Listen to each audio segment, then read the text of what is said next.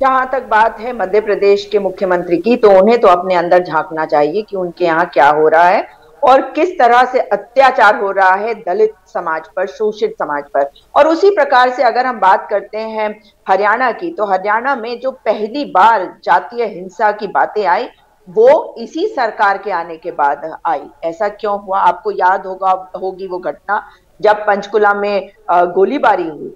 ऐसा तो हमने पहले कभी सुना ही नहीं था। और नू की घटना नू में हिंसा हुई पंचकुला में गोलीबारी हुई और तमाम ये बात कांग्रेस कह रही है कि यहाँ पर हिंसा होती नहीं थी जितनी हिंसा देखी जा रही है। इसके बावजूद मैं आपसे सवाल कुछ और पूछ रही हूँ क्या राक्षस और राक्षसी प्रवृत्ति जनता को बताना इस बयान के साथ कांग्रेस पार्टी है? रणदीप सुरजेवाला ने सही कहा।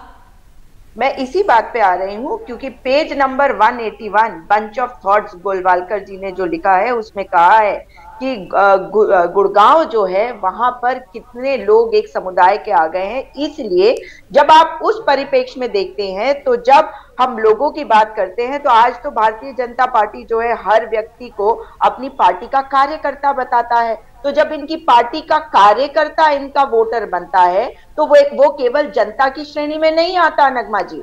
तो उनकी तो अगर आप बात कार्यकर्ता राक्षस हैं?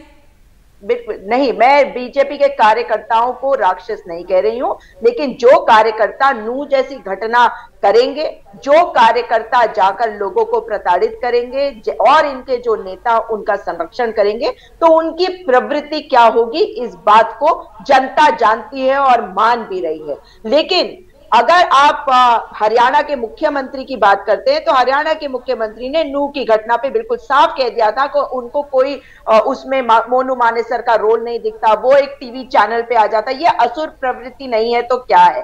अगर जनता जनार्दन है तो जनता का संरक्षण यानी कि रणदीप सुरजेवाला